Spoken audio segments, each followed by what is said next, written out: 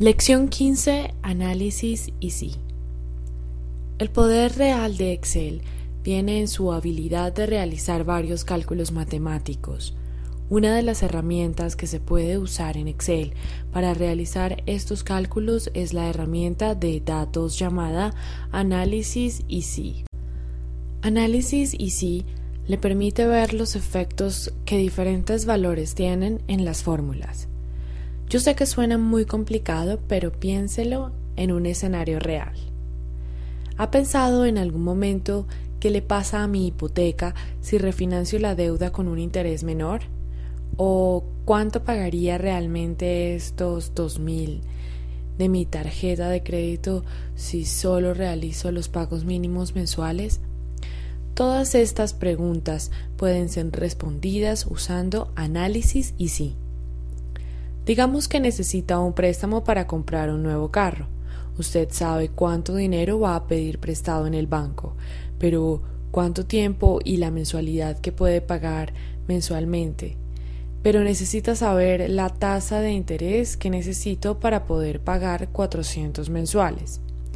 Ahora mismo veo que si no tuviera que pagar interés y dividiera estos veinte mil en 60 pagos, tendría que pagar 333,33 mensualmente. Para no realizar todos estos cálculos, usé la herramienta Análisis sí. Pero antes de meterlos de lleno en esto, usted se preguntará por estas funciones que vemos en B5. Yo ya he insertado una función en esta celda para que calcule esto por mí. Esto no hace parte del análisis y sí, pero déjeme mostrarle rápidamente lo que hice. Necesitaba una fórmula que calculara los pagos mensuales. En vez de escribir la fórmula yo misma, inserté una función. Para hacer esto, selecciono la pestaña Fórmulas y dé clic en el botón Insertar función.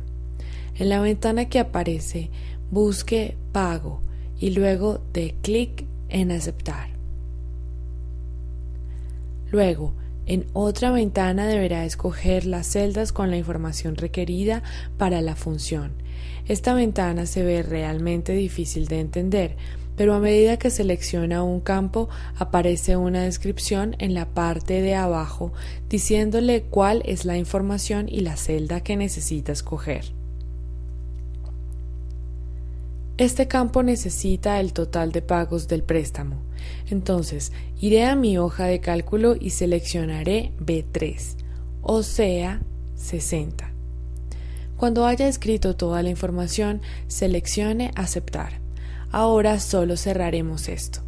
Pero si todavía no lo entiende muy bien, puede ver nuestra lección de funciones para tener más información. Bueno, ahora si volvamos a la herramienta Análisis y sí. Hay tres tipos de análisis y sí que se pueden usar. Para verlos, seleccione la pestaña Datos y encuentre el grupo de herramientas de datos. Dé clic en el botón Análisis y sí y verá un menú desplegable con tres opciones. Una de las opciones es Buscar objetivo, una herramienta perfecta para ayudarlo a determinar la tasa de interés que necesita para cumplir su objetivo. Cuando haya seleccionado Buscar objetivo del menú, una pequeña ventana aparecerá. Aquí tenemos que especificar una celda o un valor exacto. En esta situación queremos configurar B5, nuestra celda pago.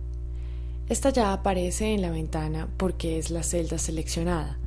Vamos a especificar un valor de 400. Ya que estamos realizando un pago que se reste de nuestro préstamo, tenemos que escribirlo como un número negativo.